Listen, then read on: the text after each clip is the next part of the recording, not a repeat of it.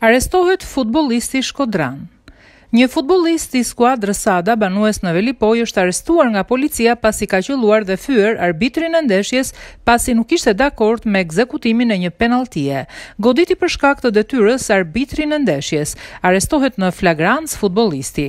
Specialistët për hetimin e krimit në Komisariatin e Policisë Gramsh arrestuan në flagrancë shtetasin VP njëzet e nëntë vjeç Lojtar i skuadrës së futbollit Ada banues në Velipojë, Shkodër, pasi në stadiumin e qytetit të Gramshit, gjatë zhvillimit të ndeshjes nëpërmjet ekipeve Gramshi-Ada, ka goditur dhe fyer arbitrin e ndeshjes shtetasin BL tridhjetë e dy vjeç banues në Tiranë, pasi nuk ishte dakord me ekzekutimin e një penalltie. Materialet hetimore i kaluan prokurorisë pranë Gjykatës së Shkallës së Parë Elbasan për veprimet e mëtejshme proceduriale, njofton policia.